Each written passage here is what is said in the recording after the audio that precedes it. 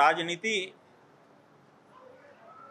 की ये चाहत है कि टुकड़े टुकड़े हो जाए समाज। क्यों? जब आप रोटी खाने के लिए बैठते हैं, आपकी माँ तो पूरी बेल करके बड़ी बनाती है, लेकिन फिर आप खाने के लिए टुकड़े टुकड़े करते हैं। ऐसे ही जब समाज एकजुट होगा तो राजनीतिज्ञों का कुछ नहीं चलेगा। वो चाहते हैं कि समाज टुकड़े टुकड़े रहे, ताकि हम जिस टुकड़े को चाहें, एक टुकड़ा तो कम से कम हमारा रहे। तो ऐसी, ऐसे प्रयास राजनीतिज्ञों के द्वारा खूब किए जाते रहे हैं। अंग्रेज़ों के समय से ही ये कहावत हमारे समाज में आ चुकी है कि राजनीति के, का नारा है, बांटो और राज करो।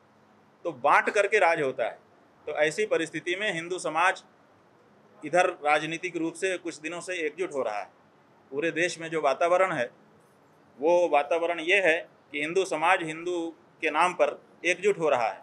इस एकजुटता को दूसरे राजनीतिक दल नहीं देख पा रहे हैं, इसलिए वो हिंदू समाज में फूट डालने के लिए तरह तरह के प्रयास कर रहे हैं।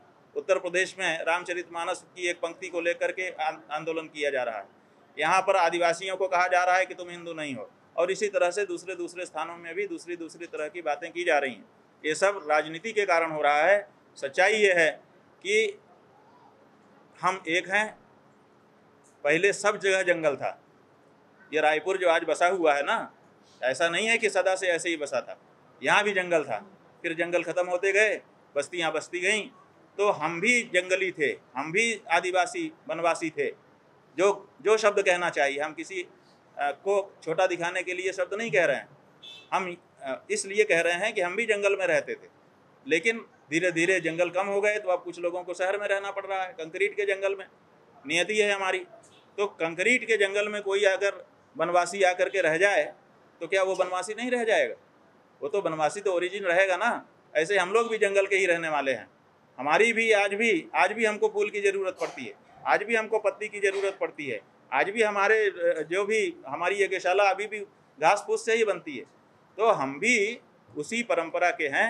आदिवासी, वनवासी कहो, जंगली कहो वनवास वानप्रस्थ कहो, जो कुछ कहो। हम में और आज के आदिवासी, जिनको आदिवासी नाम से आज पहचाना जा रहा है, उनमें कोई अंतर नहीं है। उनमें से भी बहुत से लोग शहर में आकर के रह रहे हैं, लेकिन वो आदिवासियों का प्रमाण पत्र उनके पास है और वो उसके अनुसार सुविधा ले रहे हैं। तो केवल शहर में रह जाने मात्र से किसी की आदिवासीता समाप्त नहीं हो जाती।